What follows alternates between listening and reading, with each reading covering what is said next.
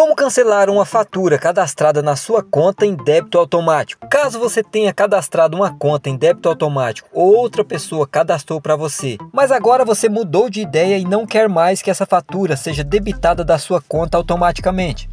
O processo é bem simples, qualquer pessoa pode estar fazendo. Vem comigo que eu vou mostrar para vocês. Estou utilizando aqui então o aplicativo Internet Banking da Caixa Econômica.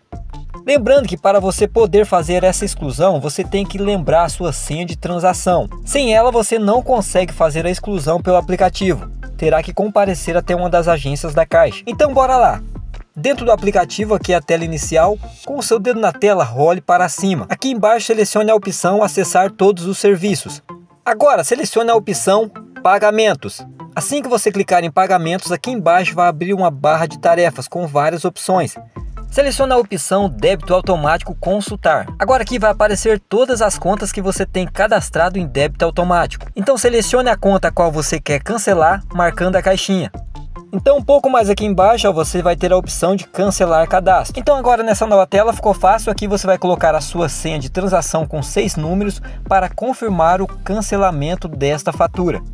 E é isso aí pessoal, esse foi um vídeo simples de como cancelar uma fatura cadastrada na sua conta. Se inscreva no canal, deixe seu like e até o próximo vídeo.